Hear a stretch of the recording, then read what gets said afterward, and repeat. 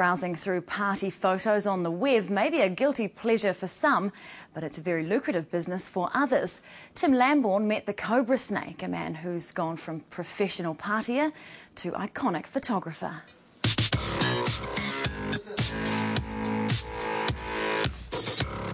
Mark Hunter is a snapshot of a contemporary internet big shot.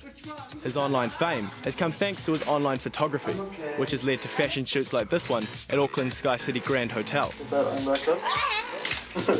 the 22 year old's relatively new to the fashion world. He made his name by taking photos at Hollywood parties and posting them online. And his candid style grabbed people's attention.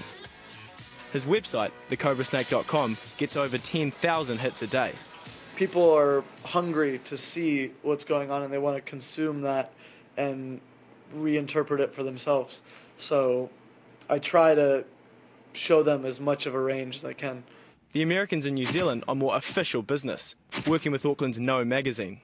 I've been so excited to come down here and actually see what's going on and see the crazy people behind the magazine. His muse for this shoot is 16 year old Australian model Tallulah Morton, who enjoys Hunter's laid back style.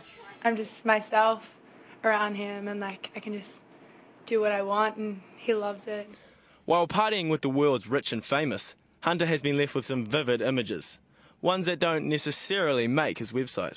I was in Las Vegas for like the porn convention, and you can just imagine uh, crazy naked girls showing things I don't want to see.